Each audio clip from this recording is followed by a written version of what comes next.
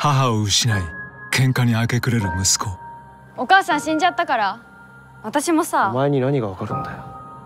愛理返してくれよ。妻を失い酒に溺れる父。おいこっからも逃げんのかよ!行ったことあるか？お前の親父もあそこで生まれて育ったんだ。やっぱり持ってくればよかったなさゆりちゃんが置いてきた大切なものだ。里帰りするか。約束ね。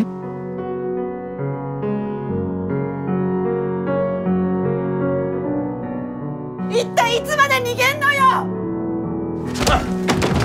お前がどうにかするんだよ。のや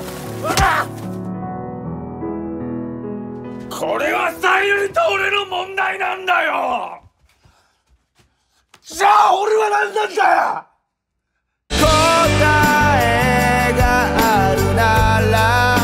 俺一人でやんなきゃいけねえ気がする。